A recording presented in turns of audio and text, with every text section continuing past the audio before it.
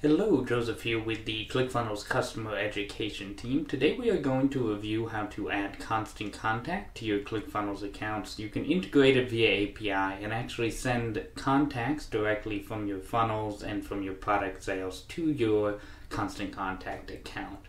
Let's go ahead and hop over to our settings and click on the integrations button. From here we're going to click add new integration on this page, you'll see actually right at the top, you can select Constant Contact API. Go ahead and click on that. Give your integration a nickname and click Connect Integration.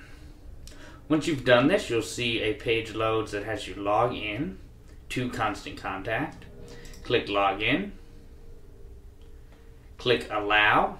So it's basically just saying allow ClickFunnels to access your Constant Contact account. And once it loads, you should get a success message right here. That's it. It should be up and running. If you have any questions, click the Get Help button. Otherwise, go ahead and continue to the bottom of this article where you can learn how to connect constant contact with a page or with a product.